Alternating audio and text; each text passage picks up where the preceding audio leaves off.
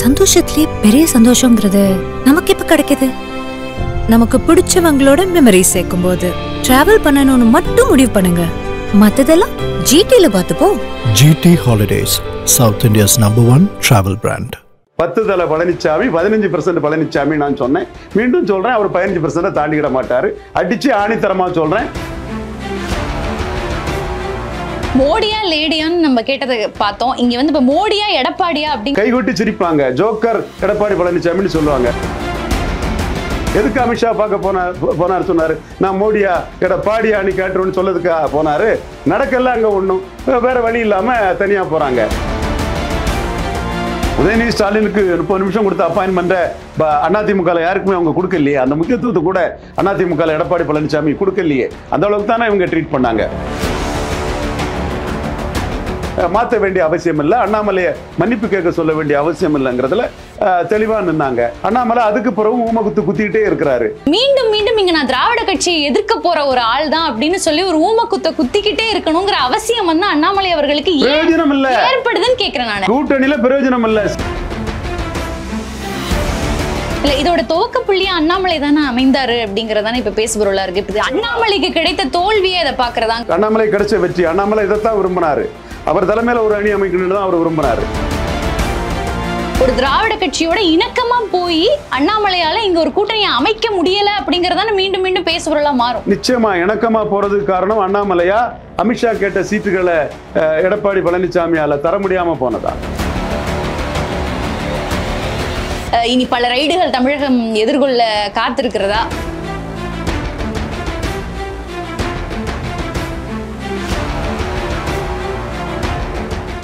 D debate நேர்களுக்கு வணக்கம். இன்று நம்முடைய சிறப்பு நேர்காணலில் மூத்த அரசியல் விமர்சகர் திருமிகு ரவீந்திரன் துரைசாமி அவர்கள் நம்மோடு இணைந்திருக்கிறார். பேசலாம். வணக்கம். வணக்கம்மா. அஹ் தற்போது வந்து ஒரு மிக முக்கியமான செய்தி. அதிமுக பாஜக கூட்டணி இல்லை அப்படிங்கிற ஒரு முடிவை வந்து எடுத்திருக்காங்க. உங்களுடைய முதற்கட்ட பார்வை. தேசிய ஜன கூட்டணியிலிருந்து விலகுகிறோம். எங்கள் தலைமையில கூட்டணி அமைப்போம்னு அவங்க சொல்லியிருக்கிறாங்க. இந்த முடிவு அவங்களுக்கு எடுக்க வேண்டிய நிர்பந்தம் அண்ணாமலை ரொம்ப தெள்ள தெளிவா திறம்பட கொடுத்தாரு. எடப்பாடி பழனிசாமி தவழ்ந்து விழுந்து அஹ், தலைவரானவன் அல்ல நான். கூட்டணி கட்சி தலைவரை மறைமுகமாக விமர்சனம் பண்ணார். அடுத்தபடியாக மீண்டும் மூன்றாவது முறை மோடி வருவார். யாரும் யார் காலையும் விழுணுன்னு நான் சொல்லலை. என்ன சொன்னால் எங்கள் காலில் வந்து நீங்கள் விழுந்து தான் தீரணுங்கிற ஒரு கிண்டலை அண்ணாமலை பண்ணார்.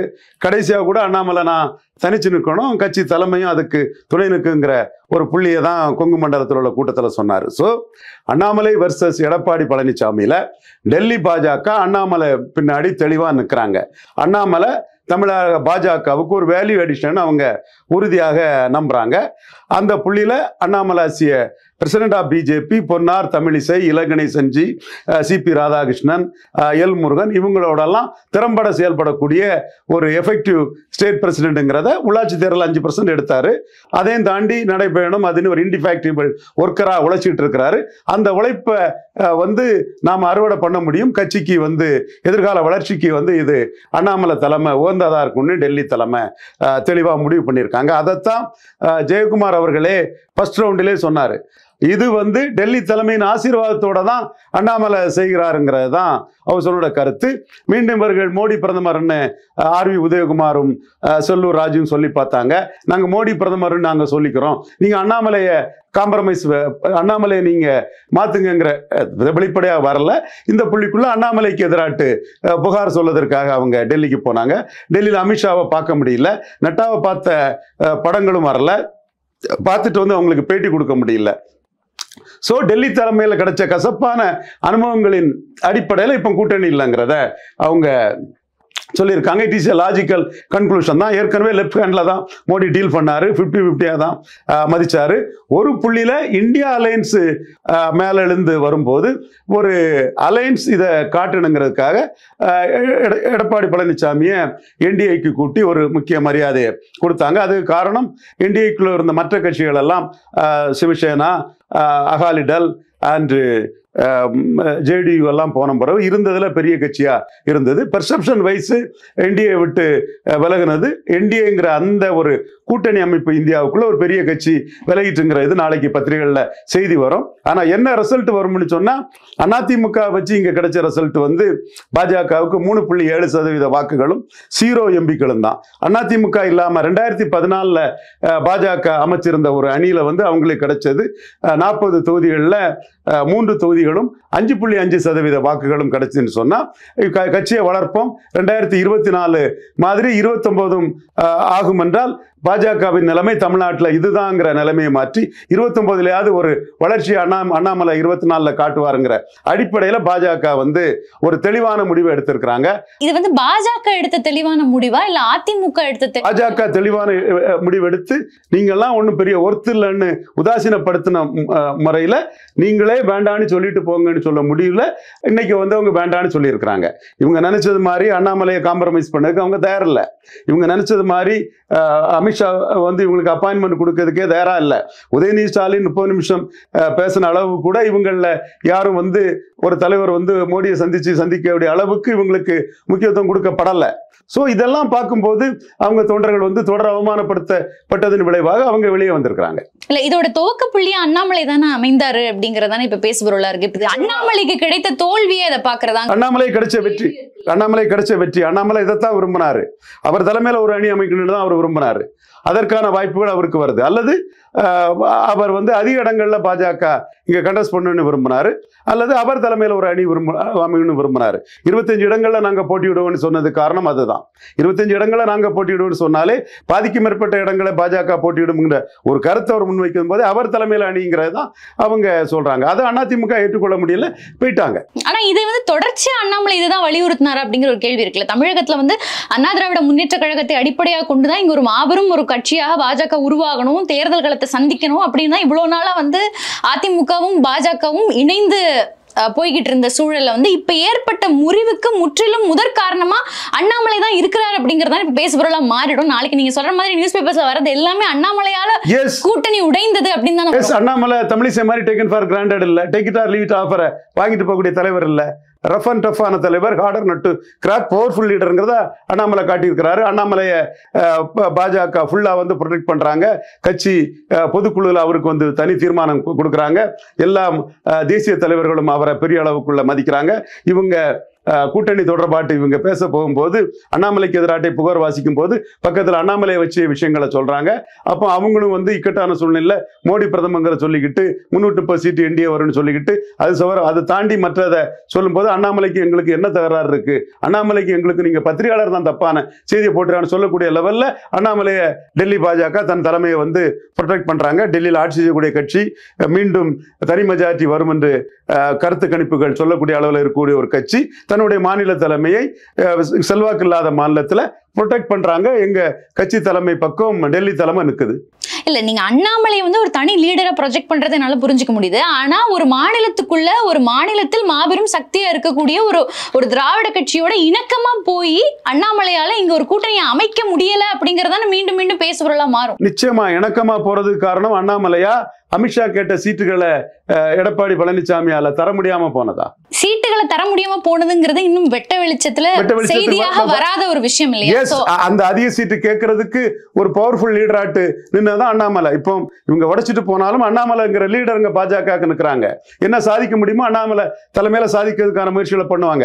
ஏன் ரெண்டாயிரத்தி பதினாலுல பத்தொன்பதுல அதிமுக ரெட்டலையோட நின்று சாதிச்ச விட பதினாலுல அஞ்சரை சதவீத வாக்குகளும் ஒரு எம்பி வெற்றி பெற்றாங்க. என்டிஏ நாற்பதுக்கு மூணு எம்பிக்கள் வெற்றி பெற்றது தானே வரலாறு? பத்தொன்பதுல ஒன்றும் ஜெயிக்கலைங்கிறதான வரலாறு? ஒரே ஒரு இடம் தானே ஒட்டுமொத்த என்டிஏ வெற்றி பெற்றது.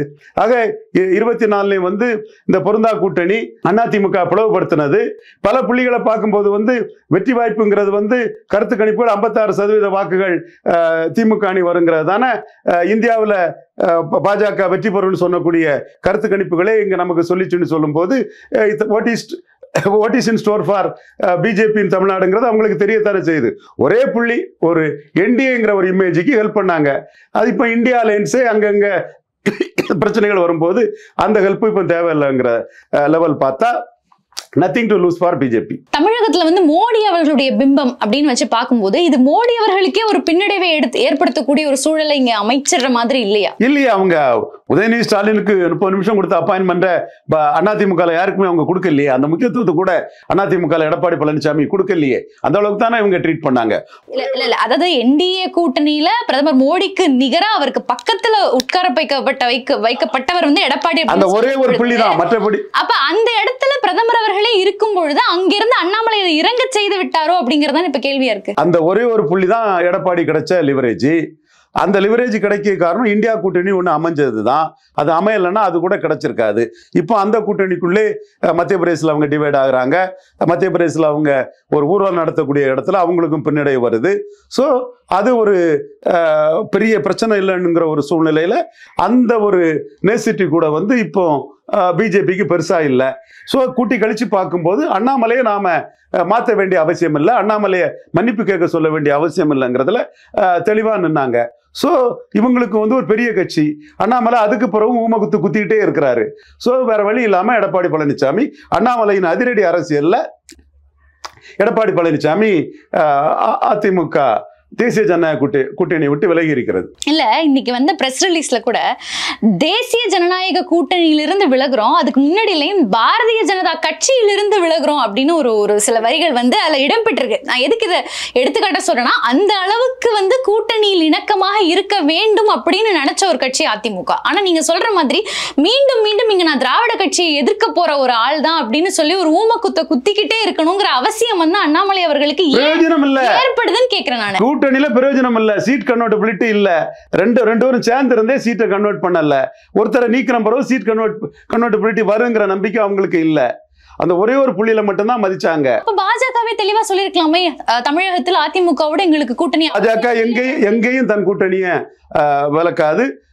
கூ- கூட்டணி கட்சிகள் விலகி போன வரலாறு தான் உண்டு. அகாலிடல் ஃபார்ம் ஃபார்முலா பிரச்சனையில் விலகி போனாங்க. நிதிஷ்குமார் பிரமிஸ்டர் ஆக வேண்டுங்கிற ஆசையில் விலகி போனார். சீஃப் மினிஸ்டர் சீஃப் மினிஸ்டர் ஆகி ஆகக்கூடிய சூழ்நிலையில் இவர் உத்தவ் தாக்கரே விலகி போனார்.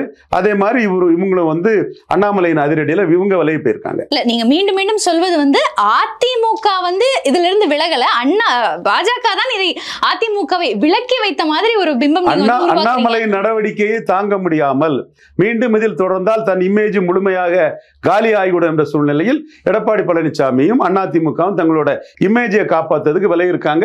இவங்க ஒன்று சீட் கன்வெர்டபிலிட்டி கன்வெர்ட்டிங் கெப்பாசிட்டி உள்ளவங்க இல்லை ஓட் டிரான்ஸ்ஃபரிங் கெப்பாசிட்டி உள்ளவங்க இல்லை. ரெண்டாயிரத்தி பத்தொன்பதுலேயே அதை பார்த்தோம். அதுக்கு பிறகு இவங்க மெகா கூட்டணி அமைப்புன்னு தான் இவங்க சொல்லிக்கிட்டு இருந்தாங்க. அது பிறகு பாஜகவில் தோத்தங்கிற கருத்தையும் நாற்பத்தோராயிரம் முஸ்லீம் வாக்குகள் கிடைக்கலங்கிறத செங்கோட்டையன் அண்ணன் அவர்களும் சொன்னாங்க. சிபி சண்முகம் பாஜகவில் தோத்தங்கிற புள்ளியும் சொன்னாப்புல. இப்படி வந்து பல கருத்துக்களையும் சொல்லி கொண்டு இருந்தவங்க தான். ரெண்டாவது இடத்த உறுதி பண்ணதுக்கு மோடி பிரதமர் என்ற புள்ளிக்கு வர நிற்கும் போது வந்து நீங்கள் வந்து மோடி அசட்டுன்னு வாரிங்க அதற்குரிய சீட்டை கொடுங்கங்கிறத அண்ணாமலை இருபத்தஞ்சு சீட்டுன்னெலாம் பிரச்சாரம் பண்ணி பெரிய லெவலில் அண்ணாமலை தமிழ்நாட்டின் ஆட்சியை பிடிக்கதாங்கன்னு நிற்கிறோம் எடப்பாடி முதலமைச்சர்னு சொல்லதுக்கு நான் ஒன்றுங்க வரலை. என்ப மாதிரிப்பட்ட கருத்துக்கள் எல்லாம் சொல்லும்போது வந்து அதை ஏற்றுக்கொள்ள முடியாமல் அல்லது அந்த கிளைமை அக்செப்ட் பண்ண முடியாமல் அதிமுக அஹ், விலகியிருக்காங்க. இங்க அண்ணாமலை எதிர்ப்பு தான் வந்து அதிமுக அதிகமா இருக்கே தவிர பாஜகவினுடைய எதிர்ப்பு அதிமுகவில் அதிகமா இல்ல. நம்ம அவங்க திரும்ப திரும்ப கொடுக்குற பிரஸ் மீட்டை நம்ம பார்க்கும்போது அண்ணாமலையை தலைமையில் இருந்து விலக்கி விட்டால் இந்த கூட்டணி நிகழும் இந்த கூட்டணி நடக்கும் தான் அவங்க மீண்டும் மீண்டும் சொல்லிட்டு இருந்தாங்க. அப்ப அது அங்கதான் என்னோட கேள்வி வருது. இங்க அண்ணாமலை தான் உங்களுக்கு பிரச்சனையா இருக்காங்க. ஆனா அதை அடிப்படையாக கொண்டு இன்னைக்கு கூட்டணியே இல்லைன்னு முடிவாயிடுச்சு. ஒட்டுமொத்த தேசமும் எதிர்கொண்டு இருக்கக்கூடிய இந்த பாராளுமன்ற தேர்தலில் தமிழகத்திலிருந்து பாஜகவுக்கு ஒரு மிக முக்கியமான பல சீட்டுகள் கிடைக்கும் அப்படின்னு எதிர்ப்பு கிடைக்கலையே மேடம். ரெண்டாயிரத்தி பத்தொன்பதுல ஒன்றும் கிடைக்கலையே மேடம். பதினாலுல தானே ஒரு சீட்டு கிடைச்சது? நீங்க அந்த தரவுகளை மறந்துக்கிட்டு பேசுறது நியாயம் இல்லைல்ல? பத்தொன்பதுலேயே ஒன்றும் கிடைக்கலையே. மூணு புள்ளி ஏழு சதவீத வாக்கு தானே கிடைச்சது.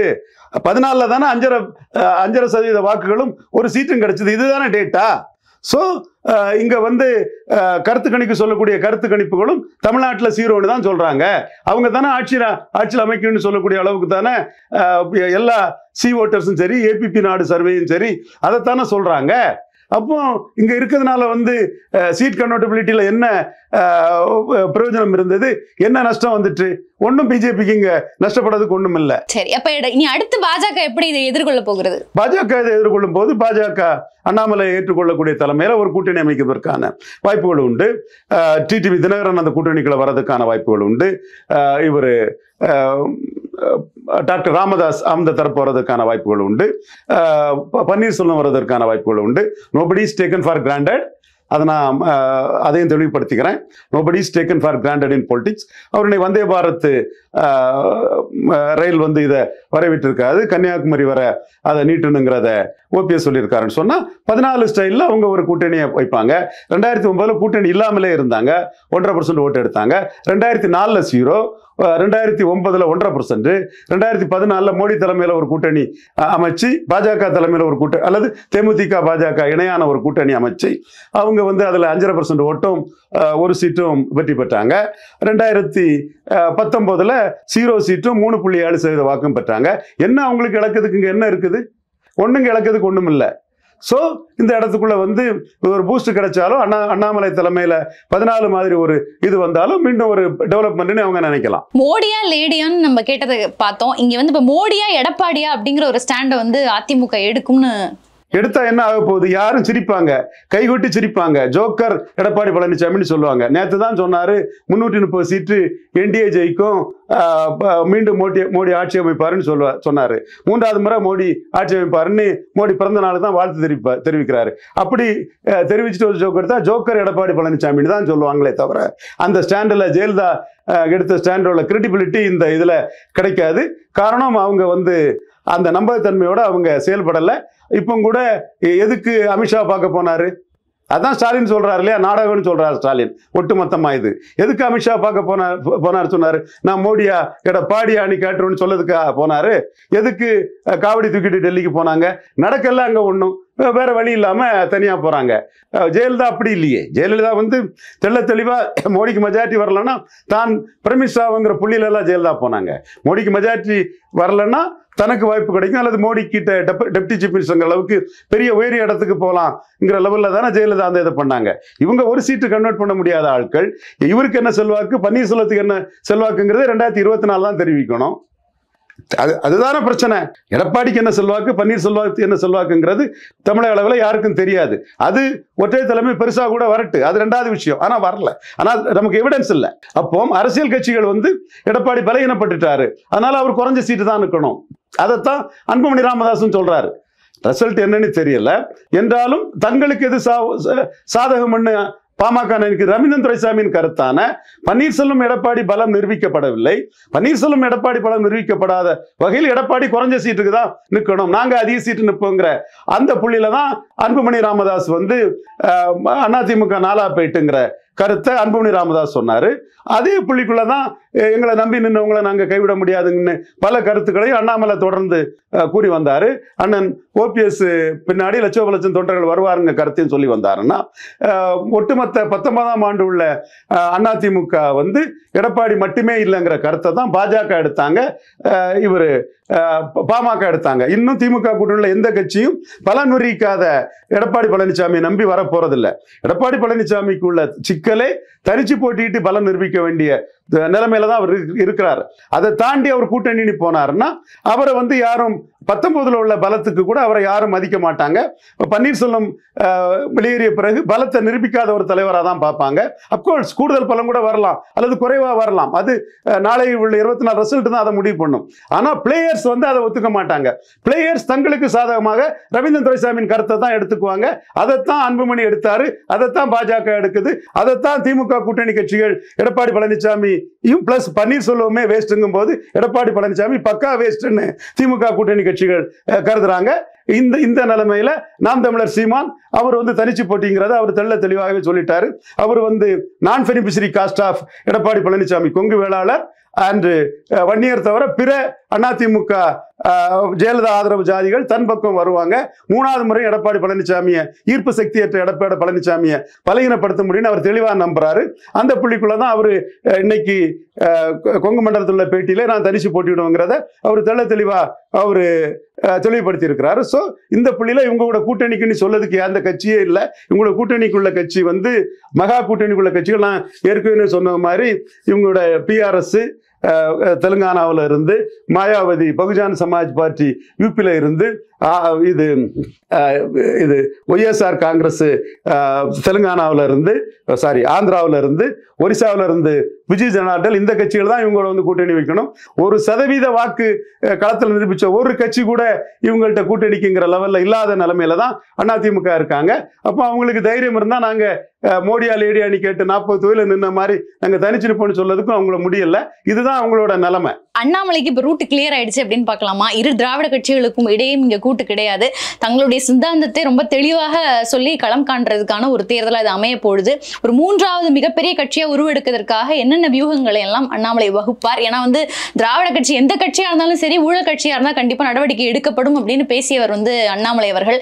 இனி பல ரைடுகள் தமிழகம் எதிர்கொள்ள காத்திருக்கிறதா? ரைடுகள்லாம் எனக்கு நம்பிக்கை கிடையாது மேடம். நான் அதை சொல்லிட்டேன். நான் சிவகுமார் ரைடே நான் வந்து சிவகுமாருக்கு அது ப்ளஸ்ஸாக தான் வரும்னு சொன்னேன். சொன்னேன் ரேடுகளை வச்சு நான் பேசக்கூடியவும் இல்லை. பிரைம் மினிஸ்டர் கேண்டிடேட் இல்லாத புள்ளியில் இஷ்யூ இல்லாமல் போகக்கூடிய எடப்பாடி பழனிசாமி மிக மோசமான நிலைமையை அடைவாருங்கிறது என்னோட ஆணித்தனமான கருத்து. இது மக்களவை தேர்தல். மக்களவை தேர்தலிலே அதிமுக ரொம்ப மோசமான சூழ்நிலை அவங்க அடையதுக்கான வாய்ப்புகள் இருக்குது. காரணம் அவங்க வாக்கில் ஒரு பகுதி காங்கிரஸ் தலைமைக்கு போயிட்டு ராகுல் காந்தி தலைமைக்கு போயிட்டு இன்னொரு பகுதி மோடி தலைமைக்கே வந்தது. அதுல இருந்து எவ்வளவு வாக்குகளை இவங்க திருப்பி வெளியே எடுக்க மா- எடுக்க போறாங்கங்கிறது மிகப்பெரிய கேள்விக்குறி. பதினெட்டு சதவீத வாக்குகள் தான் மோடி தலைமைக்கு இவங்க இவங்களால வந்தது. ஆக்சுவலி நான் அந்த என்னோட பார்வைப்படி அதை விட குறைவான வாக்கு தான் கான்ட்ரிபியூட் ஆயிருக்குங்கிறது என்னோட கணக்கு. என்றாலும் டேட்டா வந்து பதினெட்டு சதவீதம் அவங்க எடுத்திருக்காங்கன்னு சொல்லும்போது அந்த அணியில் அவங்க எடுத்தது பதினெட்டு சதவீத வாக்குகள். இதில் பன்னீர்செல்வம் பிளஸ் பாஜக அணி அமையக்கூடிய பட்சத்தில் எவ்வளவு கோட்டை விட்டுட்டு எவ்வளவு வெளியே எடுக்க போறாங்கிறது பொறுத்திருந்து பார்க்கணும். பத்து தலை பழனிசாமி பதினஞ்சு பர்சன்ட் பழனிசாமி நான் சொன்னேன். மீண்டும் சொல்றேன் அவர் பதினஞ்சு பர்சன்ட் தாண்டிட மாட்டாரு. அடிச்சு ஆணித்தரமா சொல்றேன் பதினஞ்சு பர்சன்ட் தாண்டிட மாட்டாரு. இது பாராளுமன்ற தேர்தல் ஆப்பிள் வேற ஆரஞ்சு வேற. பாராளுமன்ற தேர்தலில் அவருக்கு இஷ்யூ இல்லை. இஷ்யூ இல்லாத இந்த தேர்தலில் போய் அதுவும் கடைசி வர பாஜக கிட்ட கெஞ்சி கூத்தாடி நடையா நடந்து வேலைக்கு ஆகாமல் நீங்கள் ஒருத்தர் இல்லைன்னு அவங்க ஆஹ், அண்ணாமலைக்காக சொன்ன பிறகு வந்த ஒரு முடிவு இந்த முடிவு எடுக்க எடுத்த எடப்பாடி பழனிசாமி ரெண்டு ஜாதி ஆதிக்கம். கே பி முனுசாமி பேசினார ரொம்ப தயங்கி கலங்கி மயங்கி பரிதாபமா பேசினார என்னுடைய இனிய நண்பர் கே கே பி முனுசாமி. ஆஹ், பாஜக பிராமண சமுதாயத்தை எதிர்ப்பாரு. தந்தை பெரியாருக்கு பாரத ரத்னா கொடுத்துருவோம் சமூக நீதியை சூறையாடலாம் நினைப்பார் இல்லையா? என்னோட நண்பர் கே பி முனிசாமி. அவருக்கும் சொல்லிக்கிறேன் ரெண்டு ஜாதி ஆதிக்க ஆதிக்க கட்சி நான் பெனிஃபிஷரி காஸ்ட்டை நாம் தமிழர் சீமான் கிளீனா தட்டி தூக்கிறதுக்கு வாய்ப்பு இருக்கு. பறையர் செங்குந்தர் உடையார் முதலியார் தேவேந்திரகுல வேளாளர் யாதவர் முத்திரையர் போன்ற ஜாதிகள்ல பறையர் உடையார் காஸ்ட்ல அஹ், எடப்பாடியை விட சீமானுக்கு ஆதரவு அதிகங்கிறது வந்து தெள்ள தெளிவா வந்து எஸ்எஸ்என் சர்வேயிலே வருது. இதெல்லாம் வெளிப்படக்கூடிய அளவுக்கு தான் ரெண்டாயிரத்தி இருபத்தி நாலு இருக்கும். கண்டிப்பா பதினஞ்சு பர்சன்ட் ஓட்டை எடப்பாடி பழனிசாமி தாண்ட மாட்டார். இது நல்ல தருணம். அவர்கள் பட்டாசு வெடித்து மகிழ்ச்சியாக கொண்டாடி வரவேற்கிறேன். நம்முடைய சவாலும் நிறைவேறும். பதினஞ்சு பர்சன்ட் ஓட்டை பத்து தல பழனிசாமி தாண்ட மாட்டார் என்பதை மீண்டும் வலியுறுத்தி அடித்து ஆணித்தரமாக கூறியேன். காரணம் இது மக்களவை தேர்தல். பொறுத்திருந்து பார்க்கலாம். உங்களுடைய கருத்துக்களை எங்களோட பகிர்ந்து கொண்டதுக்கு மிக்க நன்றி. சந்தோஷத்திலே பெரிய சந்தோஷங்கிறது நமக்கு இப்ப கிடைக்குது? நமக்கு பிடிச்சவங்களோட மெமரி சேர்க்கும் போது டிராவல் பண்ணணும்னு மட்டும் முடிவு பண்ணுங்க. மத்ததெல்லாம் ஜிடில பார்த்துப்போம். GT Holidays, South India's number one travel brand.